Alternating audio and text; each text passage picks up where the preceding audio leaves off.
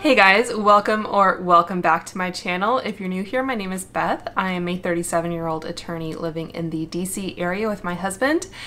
And as you can probably tell from my headgear here, today's video is going to be about the Shrek by Revolution collection.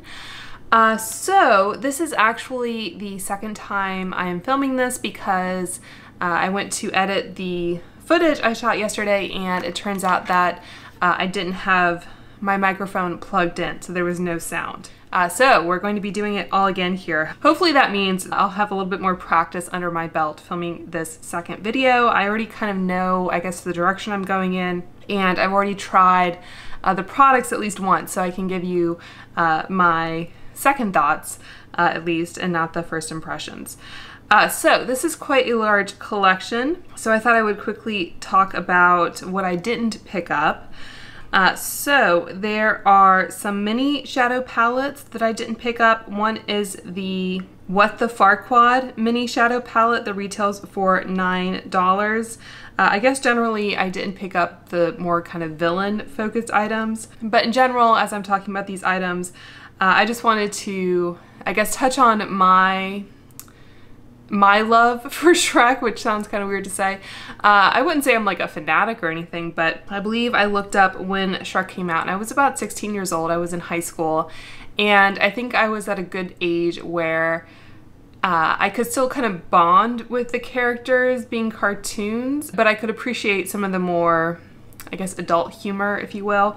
Uh, talking about the, uh, I guess, jokes that will go over a kid's head. Like, I remember watching uh, Men in Tights when I was, I don't know, probably eight or so. This headband is not going to stay on for the duration of the video. I can tell you that right now. Uh, I can feel it sliding back.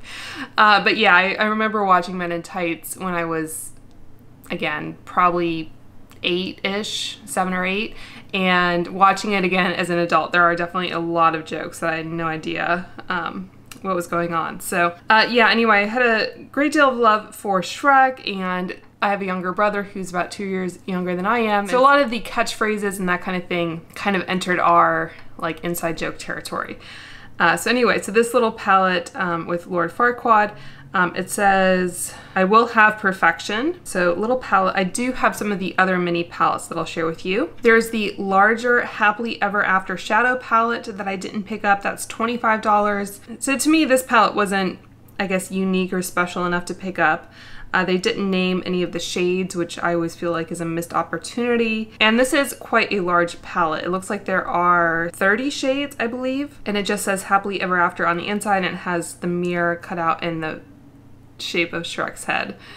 Um, so we'll talk about this headband in a minute. I try to leave my hair partially down, thinking it might help it stay on my head. The first time I tried it on, it just kind of completely fell off. And I try to stretch it out a bit, but we'll just have to make do with a normal headband.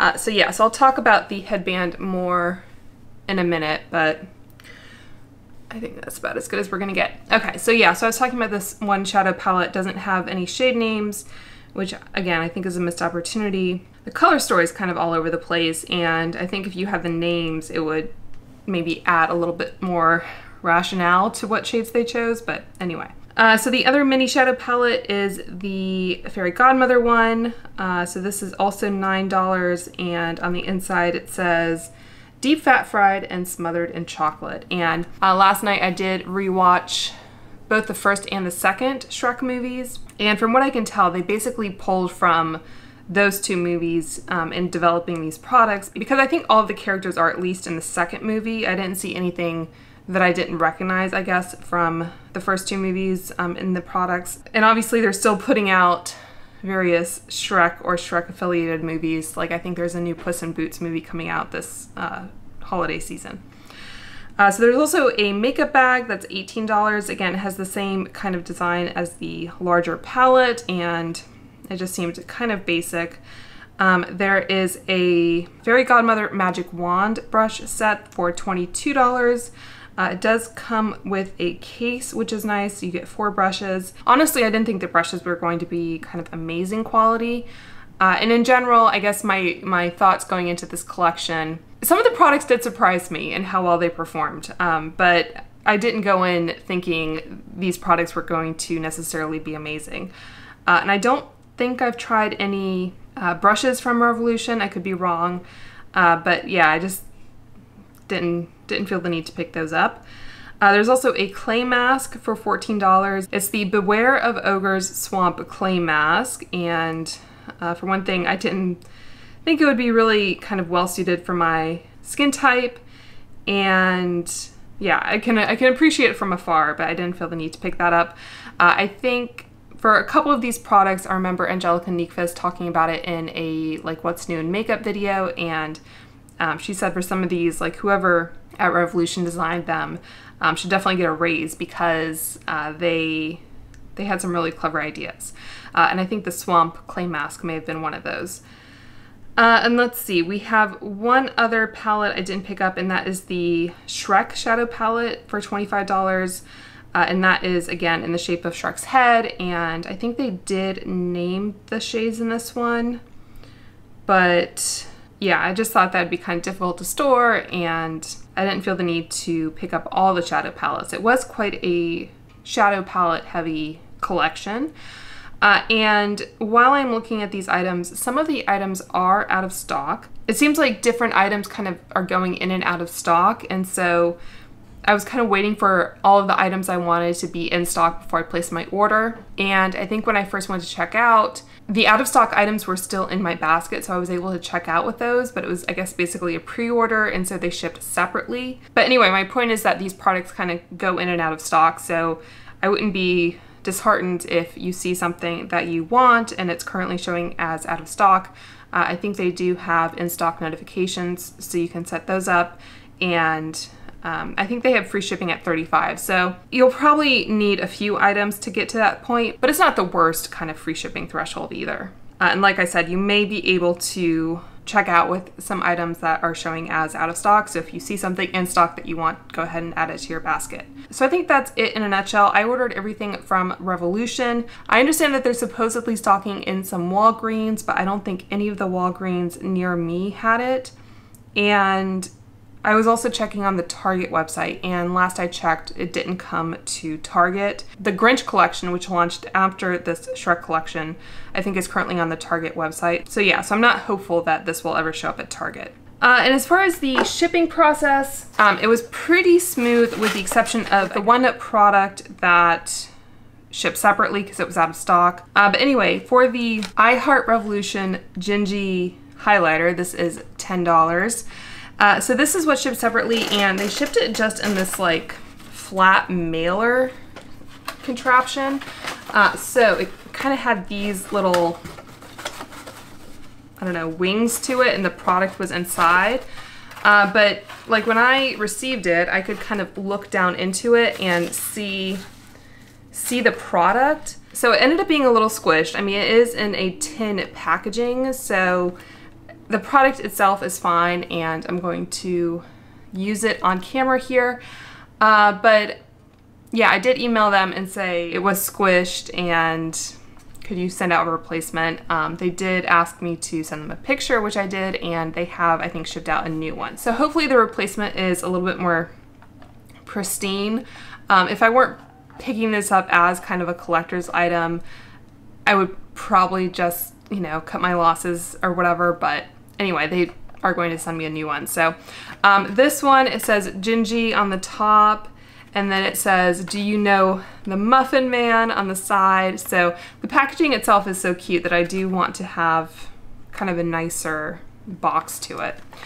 Uh, and then the interior packaging is this really cute little tin, and the product looks like so.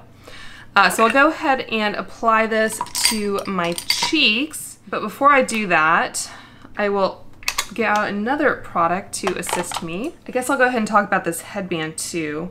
Uh, this is the Ogre Ear Makeup Headband. Uh, this retailed for $8. It's currently showing as uh, sold out as well. Uh, but yeah, just in general, I really appreciate the attention to detail with the packaging and all the kind of jokes and everything that they incorporated. So uh, the one thing aside from this, I think being too small, and maybe that's a sign that it's really not meant for an adult head. Aside from the fact that it's not really big enough, uh, the other thing, my hair stuck to it, uh, I wish they had done, uh, there seems to be kind of a front and a back, like there's a little bit of a slope here, so I'm guessing this is the front.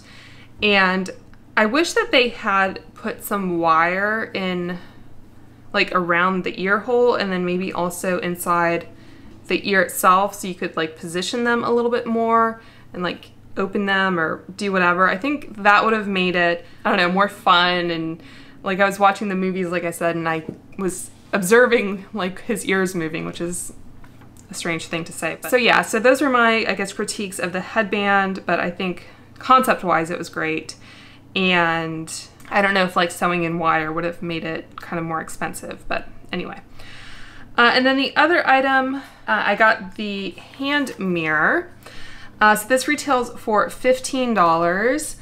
Um, it says voted fairest in the land on the back. And this is something I probably would have skipped on if I weren't filming this video, but sometimes you do things for thumbnails. So that is what it looks like. Um, to be honest, like this sticker kind of looks a little cheap. I mean, in general, the construction is not super great. Uh, there looks like there's a little bubble there. I might use a pin to see if I can get that out. But yeah, not the most amazing quality on the back. Um, the mirror itself is fine. Uh, one thing I did want to note, and um, when I filmed the video yesterday, I was actually able to demonstrate it, but I think I still have that footage, so maybe I'll just insert a clip of me removing the mirror cover because looking at some of the reviews online, people did say that the mirror was scratched, and I think they were looking at the actual like cover of the mirror, not the mirror itself, uh, because my actual mirror is fine, but the cover did maybe look like it was a crappy mirror. Uh, so anyway, so I'll go ahead and apply some of the Gingy highlighter green fuzz on me now, uh, with my Anastasia A23 brush, and I'm just gonna go down on his poor legs that are kind of broken off. Uh, like you might guess, let me swatch this. I mean, just looking at this, this is really not a great highlighter color for me. Uh, I think I think this is scented. I think I remember looking that up. Yeah, it does have fragrance in it. So if you are against scented makeup, it has kind of a spiced scent like you might expect. Um, so that is the highlighter. And if you did want to buy this and you thought the highlighter would not work on you, you could probably get away with using it as an eyeshadow. Um, but I'll kind of show you what it looks like on me. I mean, it's kind of a light application here. And I'm kind of applying it a little bit more as a blush topper. I do already have blush and bronzer applied. So yeah, I went in a little strong there. Probably, probably not the ideal product for me, honestly, but I just couldn't resist how cute it was. Um, so if I just try to, I guess, be a little bit more subtle. Again, not really going to work out too well for me as a highlighter. So I'll try to kind of bring it down on the cheeks. I think it does kind of emphasize some texture. But, you know, I think on the right skin tone, this could be pretty. But yeah, going in, I knew that probably wasn't going to work out too well for me as a highlighter. All right, I think everything else I got is either a palette or a lip product. Like I said, this is a very palette heavy collection, probably because uh, that's what sells. Uh, so the first one I'll talk about is the By Night One Day, By Day Another Shadow Palette. This retails for $18 and it has a rectangular package. As you can see, it changes between the two Fionas there. Um, it just has a plastic sleeve. So yeah, I couldn't resist that. I know that uh, Light just came out with a highlighter with the same type of packaging design. I think it's called lenticular, which always makes me think of the opening to The Sims. Uh, but yeah, this is what the shadows look like, and they did actually name them, which I really appreciate. Um, so we have Secret, Enchanted, Tower, Princess, Love, Day, and then Transform, Dragon, Kingdom, Queen, King Harold, Magic Mirror, Pina Colada, which I thought was a really good name for that shade, uh, Rain next to it, Loaded Pistol, Rescue, Night, and Sunset. So uh, maybe a little bit more, I don't know, summery with some of these colors. I mean, there are a good amount of neutrals in here as well, but uh, yeah, so I'm not going to be using this one today, but I did definitely appreciate some of the choices they made. Uh, this one, by the way, I'm sure they all are, but uh, this one is made in China. It has a 12 month shelf life. It is vegan and there are some shades that are marked as pressed pigment, which technically means that they're not being marketed as an eyeshadow because uh, the pigments aren't approved by the uh, US Food and Drug Administration for use in eyeshadows. Uh, so that's why they do that, but personally I kind of use shadows however I want. So the other shadows I have are two of the mini palettes. Uh, of course, we have Donkey here. These are each $9 as well. And like I said, this is one of my favorite, I guess, lines from the movie. And in the morning, I'm making waffles. Um, so I love that. This is also, I think, one of my favorite color stories. Um, it says Donkey, and I think these are all eye safe. There are some shades in the Puss in Boots palette that are marked as pigments. So um, if that is something you know you want to avoid, um, just make sure to check that before you purchase. And um, I just, I guess the full name on this is Donkey on the Edge palette. And we do have the dragon on the back, which is great. And then this is the inside so again, it has the, and in the morning I'm making waffles. It has a pretty usable mirror, I would say. Um, little plastic sheet. Uh, and then it does have some really fun embossing there with the matte shades. So it has the donkey embossing. And as I mentioned, I've already used these shades and I swatched all the shimmers as well. Shimmers don't have any embossing, it's just the mattes. But, but anyway, the mattes did survive in terms of the embossing. I do really appreciate that. So I'll be using this palette, uh, but just to quickly show you the Puss in Boots, it says wanna cuddle, and I mean, could they have picked a better image for Puss in Boots? I don't think so. Uh, so yeah, so this is the Puss in Boots palette. Okay, so I like to take a spatula and just kind of ease it underneath the cover to avoid ripping the package as much as possible. And then this one has the three blind mice on the reverse, which I think is brilliant. Uh, the, I think Lord Farquaad palette had Gingy on the back, and I'm not sure what the Fairy Godmother palette had. Uh, so this one, same general format. they have the different animals' fur as kind of the inside design. And then we, of course, have this embossing the Puss in Boots monogram, I guess you would call it, like the P that he makes with his sword. Uh, so those are the shades. We have Fear Me, Dare, Guitar, Boots, Outlaw, Catnip, Cuddle, and Furball. Uh, so yeah, really appreciate, again, the thought that went into naming those shades. And then for the lip colors, uh, I have all four of them. So this is the lip balm um, has an F on the cover and I love how they incorporated the kind of storybook design on it. Uh, it says, but she was possessed with a terrible curse. By day, a lovely princess.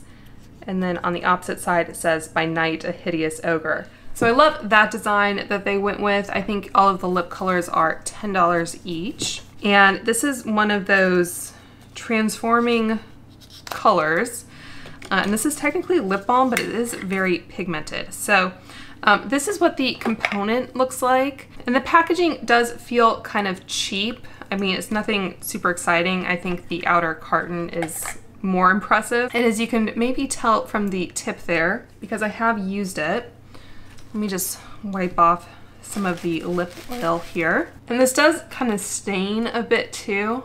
So just be aware of that. But this one is scented. Okay, so it doesn't say what the scent is supposed to be on this product, but yeah, it does have, I don't know, kind of a sweet, fruity scent maybe, I'm not sure. Channel your inner Princess Fiona with this Transformation Lip Balm. Green in color, when applied to the lips, this magical formula reacts with your pH to create a custom balm shade. All right, so that is it for the Transformation Lip Balm. Again, really genius um, idea, and obviously that type of formula is not anything new to the market. I'll go ahead and swatch it on my hand as well. But I think it's a very kind of clever use of it. So that is the balm, and you can see just how pink it's getting. And it does, like I said, kind of stain a bit. Uh, the next one, I guess I'll try, I think I want to end on the donkey one. So I guess I'll go with the dragon next. Uh, this says just reeking of feminine beauty, has the dragon um, silhouette, and yeah. I think this one is a cherry vanilla scent. And I remember one of these lipsticks being a matte. I think this one is a satin formula. It might be the Gingy lipstick that is a matte.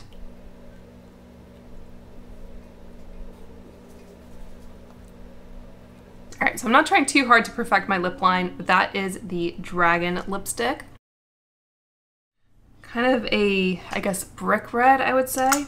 At least layered over my stained lips. All right, and then the next one is the uh, Gingy uh, lipstick, and it says, not like gumdrop buttons on the side there. And this one, I think this one is gingerbread scented. Yeah, so this is a matte.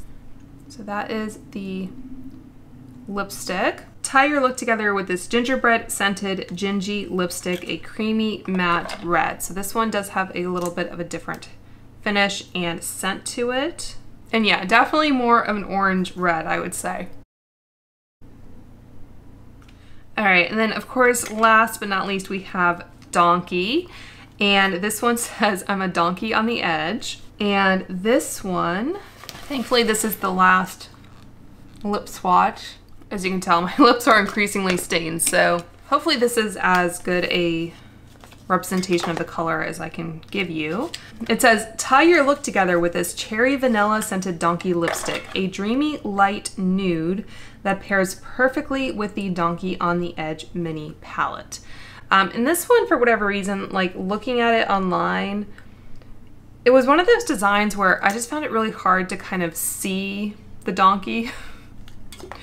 I don't know, something about the the way they drew the figure, I just had a hard time like seeing it. You know what I mean? Um, so this is the last one. And like I said, my lips are already pretty stained. I guess I would have done this swatch first, but I wanted to end up with it.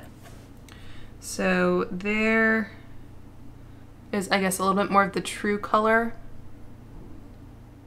All right, so that is it for the lip swatches. Hopefully um, my lips don't hate me too much tomorrow after doing this two days in a row. Uh, and I will, I guess, go ahead and wash the lipstick swatches off. Uh, while I'm doing that, I guess I will go ahead and show you, there's one item I did pick up from the Grinch collection, and that is the makeup sponge, um, because I thought it was just, again, a really kind of clever incorporation of product into theme. Um, it says on the top here, as you may recall, uh, the Grinch's small heart grew three sizes that day. So that's in reference to his transformation, I guess, at the end of the movie. And I re-wet this yesterday, so I feel like when you wet a sponge, it never goes back completely to its original size. Um, but that is the Dry Heart. Um, it does have the Revolution by the Grinch uh, so I'm gonna go wash my hand off and wet this so you can see the transformation. Okay, so that is what the sponge looks like after it's been um, dampened. So water coming down my arm, uh, dampened and I've squeezed out the excess. So um, it did definitely grow and yeah, I just thought that was really cute. Uh, okay, that was, that was I think, I'm gonna say it was around $6, $5. It's showing as out of stock on the Revolution um, page, but it could be in stock at Target. So I'll link Target if it's still there. Okay, so I think that is it with the exception of the eyeshadow palette. So uh, I'm going to start off with a primer.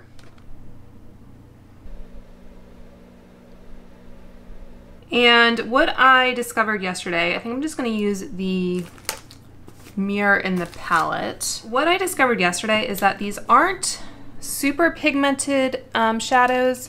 They're also not, they're not like terrible quality. I'm gonna go in with the Waffles shade on my Sigma brush. And as you can tell, like these are definitely, um, they're definitely on the smaller size. I mean, this entire palette is quite small and you're getting eight shades. So yeah, not a lot is picking up on the brush. I think that's fine though, to be honest. I like to go in kind of with a nude shade, set the primer. Yeah, so I, I think it's fine. I think honestly, the market they're probably catering to, it's better to have less pigment than more. Um, going into bolder on my Sonia G, what is this? Classic Crease. So even, even a, you know, 37 year old professional woman can appreciate this bit of nostalgia. And I think when I received these products in the mail, like I said, I wasn't expecting, you know, like Pat McGrath or Natasha Denona quality or anything like that. But I think they definitely are usable, um, at least on my skin tone. I'm not sure how these shades will show up on someone um, with a deeper skin tone. Uh, I'm gonna go in with my little flat definer into the waffle shade. And as you can tell, they're definitely not powdery. Like I'm kind of really getting my brush in there. And that's probably one of the reasons why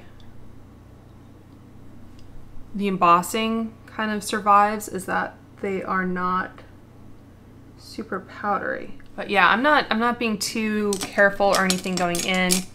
Uh, I'm gonna go in with my mini booster into Noble Steed and try to define a little bit more. I think I have some sparkle on my uh, my brush from yesterday, but that's okay. Yeah, but I think, you know, even though these aren't kind of obviously high-end shadows, I think just my joy in interacting with them kind of you know, makes it all worthwhile. Uh, using the MAC 224 and the waffle shade again, just to blend that out. And as far as the shimmers go, what I observed, I'll go ahead and swatch these. There's About Right, Me, Lady Dragon, which is pretty dry. I'll show you what the swatch looks like, but um, you can tell just from swatching it, it almost kind of has hard pan uh, but this last shade here called Sidekick, I'm swatching this on my pinky as well. That is kind of my favorite texture of eyeshadow. Like you can tell these are kind of thinner. This one is definitely going to build up and be more foiled. So we have the silver, the gold, that kind of like duochrome. I mean, I don't know. I tried to use that, I think, at first, and it just wasn't really doing anything for me. Um, but that's a really beautiful shine, high reflect, great payoff. You know, everything I really ask for in a shadow. So I will go in at first with a dry brush. I think I did ultimately use it with some uh, Fix Plus yesterday, but uh, I think just to kind of show you what you can do with it. Uh, so this is a Rephr number 28. And just applying it to the lid like so. There is a little bit of fallout, I think, but I have definitely experienced worse fallout with more expensive formulas. So I think I would say Donkey is one of my favorite characters, but I think it so happens that this is also one of my favorite color stories out of all of them. Um, so using some Fix Plus and going back into that same shade just to kind of show you how you can build it up. So, I mean, that's a really pretty just kind of dusting of sparkle, but if you really want to go in for the impact, And like I said, there's a little bit of fallout, but nothing too terrible. So yeah, so this, like I said, is my, I think, favorite type of shadow formula, but if you don't like the kind of more crumbly foil texture, you may not, you may not love this one. So I personally think that is quite impressive for, I guess, a drugstore formula. And I'm just gonna, I guess, show you on my finger as well. You know, the more you build it up, the more opportunity for fallout you're gonna have. Yeah, and I think like yesterday I tried to use that duochrome first, like on the outer corner, and it wasn't really kind of depositing anything. I'll see if I can get anything using my finger. I mean, it's just,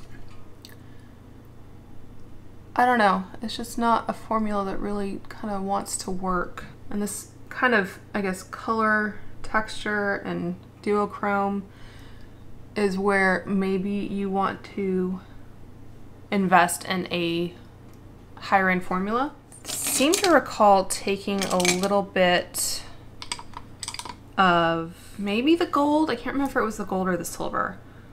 I'll just take some on this rougher number 26. Put it around the inner corner. So yeah, I think I think it's a really pretty look. I think I might want to boost up the shadow under the lash line a little bit.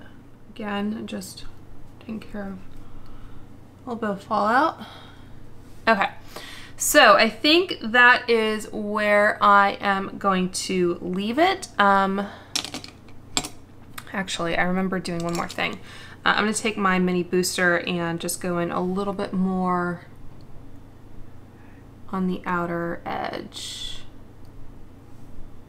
just to deepen it up a little bit. Now we're done. Okay, so I'm going to hop off camera and do my liner and mascara, and then I'll be right back um, to kind of finish off the final look. Okay, so that is it for the liner and mascara. And I think the last thing I wanted to do was just use some of this Pat McGrath gloss in Pale Fire Nectar to kind of tie the lips and the eyes together a little bit.